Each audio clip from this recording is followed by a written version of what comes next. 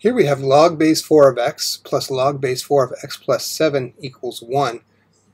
And in a lot of ways, this is the perfect intermediate algebra problem because it contains so many different aspects of the entire course. So let's do it. We first need to use properties of logarithms to combine, right? We want to combine this into a single logarithm. So let's do that.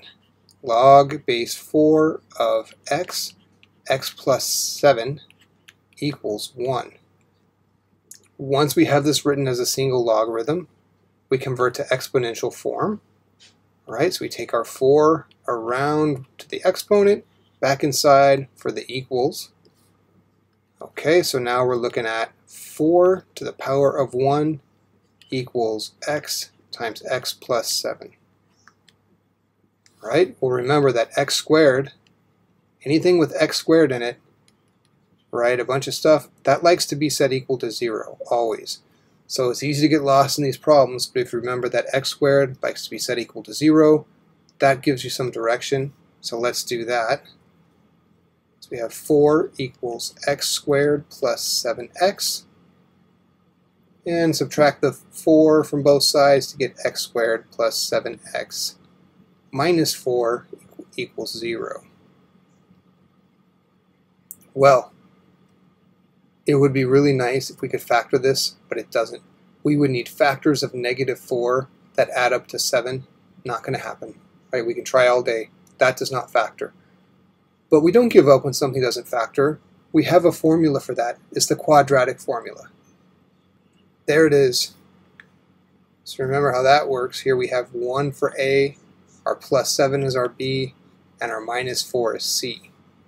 Okay, so let's plug all of that into the quadratic formula. We get x equals negative b, so negative 7 plus or minus the square root of b squared. 49 minus 4 times a, well a is 1, times c, c is negative 4. Okay, all over 2 times a, which is 1. Okay, let's clean this up a little bit. Negative 7 plus or minus the square root of 49 plus 16. 49 plus 16 is 65. 65 over 2. Okay, well 65 doesn't break down in any way that we can get it out of this radical, so that's stuck behind.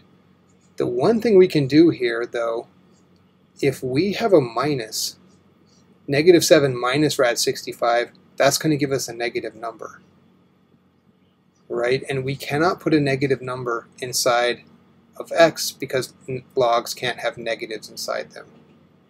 So we ditch the negative solution, leaving only negative 7 plus rad 65 all over 2.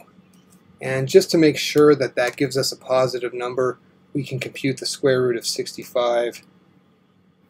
That comes out to about 808. 8.06.